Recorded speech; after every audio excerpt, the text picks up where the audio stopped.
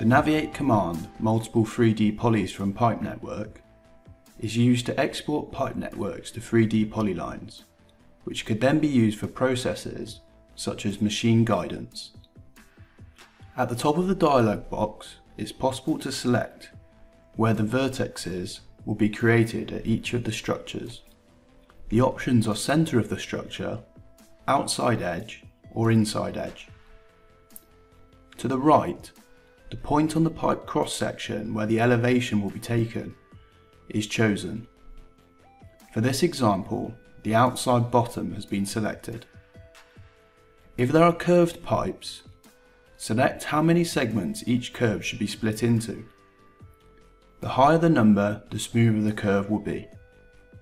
There is also options to create Cogo points at the centre of each curved pipe.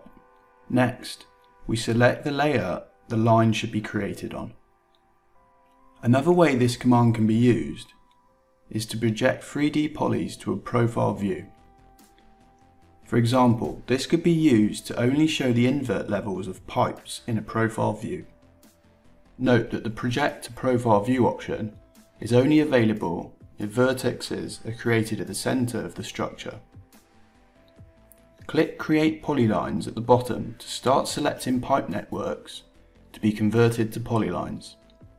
To select pipe spans, select the first structure in the span and the last structure in the span, and then press Enter. To export more than one pipe span, click Create Polylines again, and select the first and last structure in the next span, and then press Enter. When all the pipe spans are selected, click Finish and the 3D polylines will be created and selected, which could then, for example, go straight into W block.